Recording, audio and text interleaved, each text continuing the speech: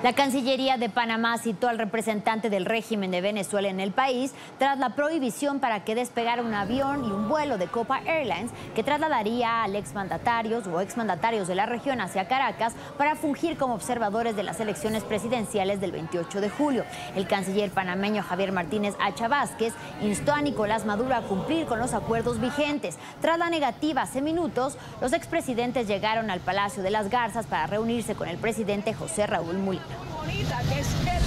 Cancillería ha citado al Palacio Bolívar a la representante de la misión diplomática de Venezuela en Panamá.